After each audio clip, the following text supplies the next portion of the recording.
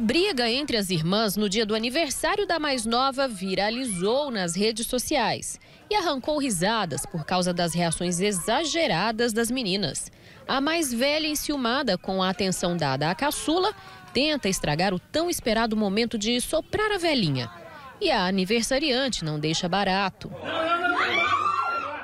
Parece engraçado, mas o olhar apurado da psicóloga vê problemas nesse comportamento. O que, que acontece numa atitude como aquela? São relações impulsivas.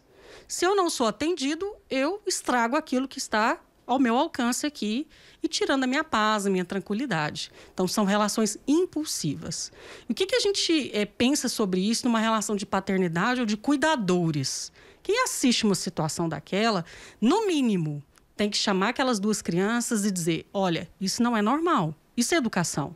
Outro caso de briga entre crianças teve desfecho bem mais grave. Terminou em violência e foi parar na delegacia.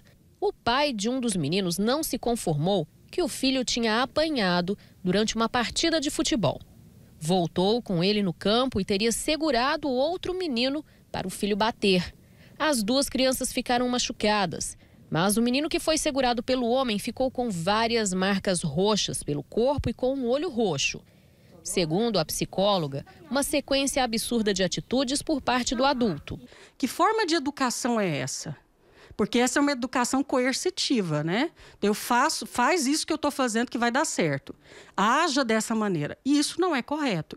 A lei é de criança para criança. A interferência de um adulto desta maneira implica em quê? Será que sempre vai ter alguém para me ajudar? Quando eu cair, quando eu me frustrar, quando eu tiver dificuldades, vai ter alguém e a vida não é assim. O melhor é sempre conversar com a criança sobre o que aconteceu. Perguntar por que ela teve determinada reação e ajudar a entender os sentimentos.